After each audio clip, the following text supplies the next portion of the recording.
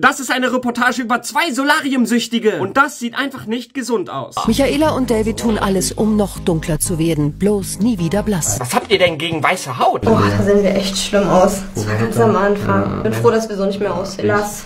Total ungesund. Ja, total ungesund. Guck mal, wie schlimm ihr dort aussah. Das ist überhaupt gar kein Vergleich zu jetzt. Hautfarbe Karotte. Bis zu viermal pro Woche lässt sich das Pärchen von der künstlichen Sonne braten. Eigentlich ein Dreamteam.